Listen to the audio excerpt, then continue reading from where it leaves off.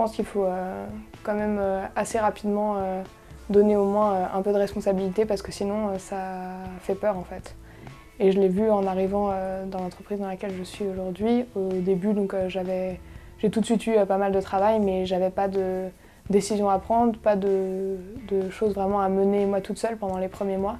Et quand on m'a donné ma, mon premier truc à faire toute seule, je me suis dit mince, j'avais l'impression que d'un seul coup ils allaient vraiment euh, pouvoir mesurer ce que je valais entre guillemets, alors que depuis quelques mois ils étaient contents, mais en même temps c'était, euh, j'avais des, tâches qui étaient clairement définies, enfin j'avais pas de prise d'initiative.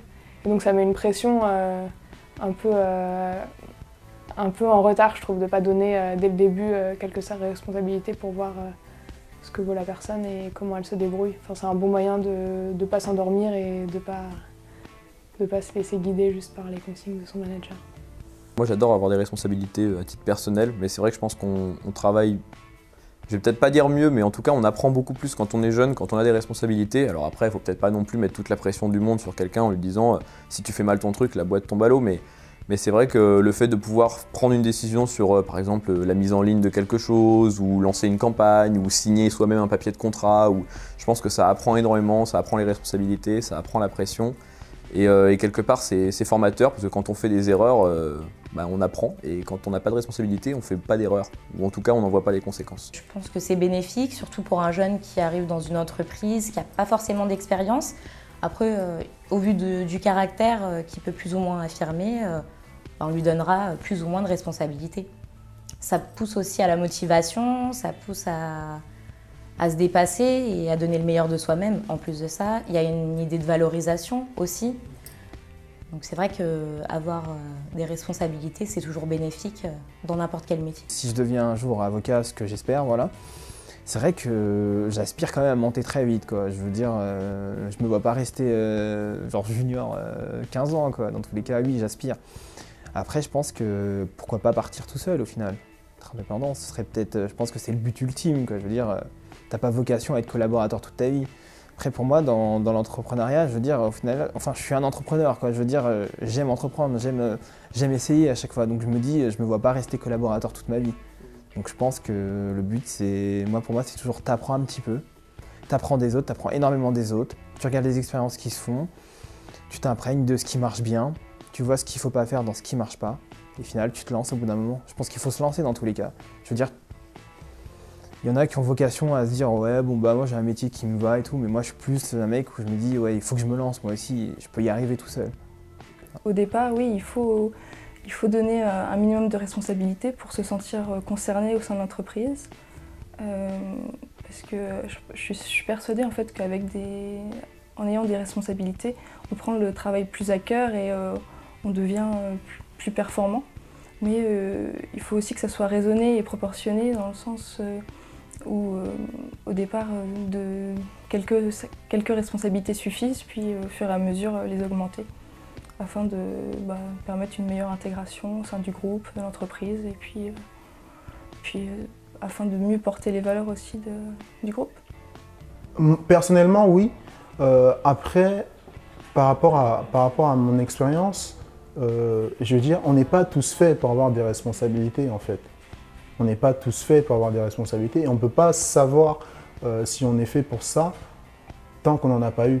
Donc il faut donner, je pense, des responsabilités aux gens, mais il faut aussi voir les profils de, personnes qui sont susceptibles euh, d'assumer et surtout de ne pas être écroulés par ce, par ce type de responsabilité-là. Et le diplôme n'est pas, le diplôme pas euh, un élément qui permet de savoir si quelqu'un peut maîtriser ou peut euh, avoir euh, ou supporter pardon, le poids des responsabilités. Le diplôme aujourd'hui, c'est pas parce qu'on a un master en management de je ne sais quoi que qu'on saura manager une équipe mieux que quelqu'un qui l'a fait dans une petite ou une, moyenne structure. Donc c'est ça en fait qu'il qui va, va falloir changer aussi. Les personnes qu'on choisit pour avoir des responsabilités et la manière de choisir ces personnes-là, surtout. Alors après, la valorisation des performances, je suis un peu partagé parce que euh, je considère que quand on est payé à faire quelque chose, je parle pas des stagiaires, je parle vraiment des salariés, je considère que quand on est payé à faire quelque chose, euh, bah, quelque part, on est censé savoir le faire. Et j'aurais plus tendance à valoriser quelque chose, enfin quelqu'un qui va faire quelque chose qui est euh, qui n'est pas vraiment dans son métier, donc qui va faire quelque chose d'incroyable, mais, à côté. Par exemple, quelqu'un qui est payé pour organiser des événements et qui va poster un super article sur le blog, et l'article va faire 20 millions de vues, bah celui-là, par exemple, j'ai envie de le valoriser. Mais je vais pas non plus le valoriser parce qu'il a fait des bons événements, je le paye pour ça et c'est son boulot. Maintenant, s'il arrive à me faire venir des PDG à chaque événement, évidemment, on va le valoriser, mais pas.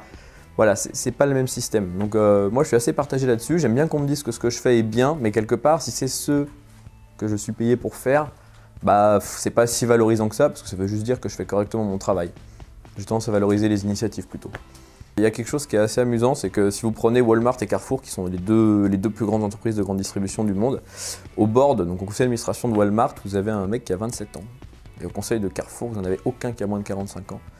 Et je trouve ça assez marrant parce que quelque part, bah, euh, en Europe, on ne fait pas du tout confiance aux jeunes euh, et donc au manque d'expérience. Et pourtant, Walmart a décidé, qui est quand même la plus grosse entreprise de grande distribution du monde, a décidé de faire confiance à un jeune de 27 ans, euh, notamment pour ses performances. Donc je pense que ce n'est pas une question d'année, d'expérience ou d'âge ou quoi que ce soit. Si on est bon, on peut l'être à 20 ans comme à 50.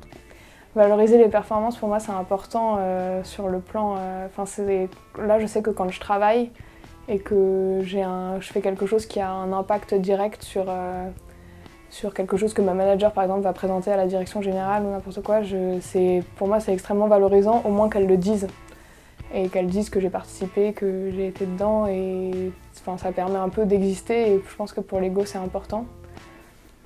Et euh, je pense aussi que c'est vraiment, euh, enfin, ne pas valoriser la performance dans l'entreprise, tout le monde s'endort. Et c'est un peu le cas dans mon entreprise actuellement. C'est les gens ont des médailles euh, au bout de 15 ans, 20 ans, 25 ans, et donc ils attendent leur médaille calmement. Et les autres savent que de toute façon, à moins d'être vraiment un super héros, parce qu'il y en a quelques-uns qui arrivent à s'en sortir et qui dépassent ça et qui vont être valorisés pour leur performance, mais il faut vraiment faire partie du 0,01% qui sort un peu du lot et donc il n'y en a pas assez à mon goût et je pense que c'est, une vision trop... Euh, on s'endort quoi.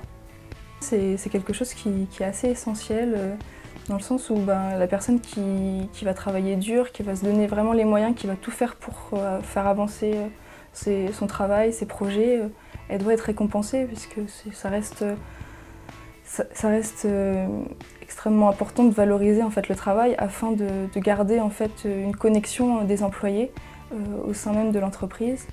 Et c'est en ça en fait euh, peut opposer avec le service public, avec euh, la fonction publique qui a des, seuils, des seuils par âge d'expérience et d'ancienneté.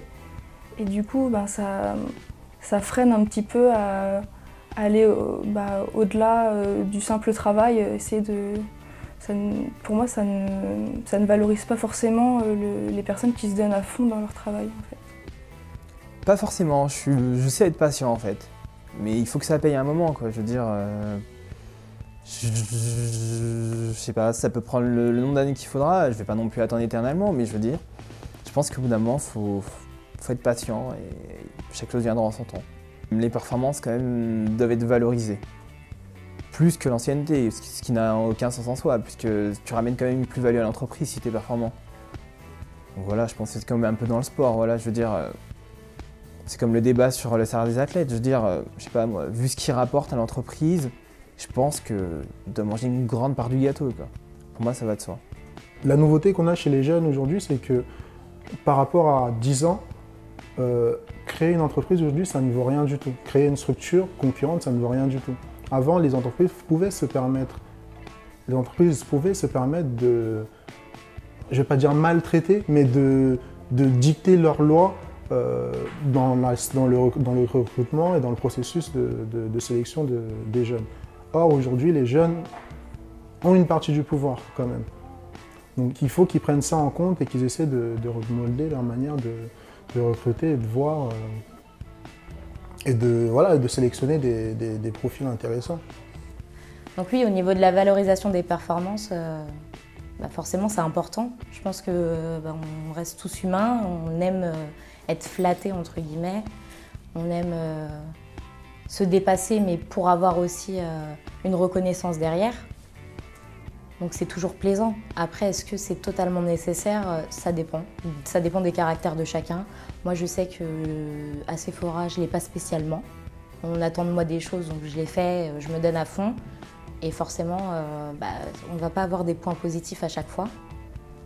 Donc oui, je pense que la valorisation, euh, elle ne doit pas être euh, spécialement, même pas du tout en fait, liée avec l'ancienneté, parce qu'on peut être très ancien dans une société euh, et euh, ne pas se dépasser, ne pas donner le meilleur de soi, ne pas euh, être euh, voilà, euh, surmotivé comme un jeune qui vient d'arriver dans, dans cette même entreprise et pourtant qui se donne corps et âme à sa tâche pour justement avoir ce- cette valorisation, avoir aussi, enfin faire ce qu'il aime en étant gratifié entre guillemets après.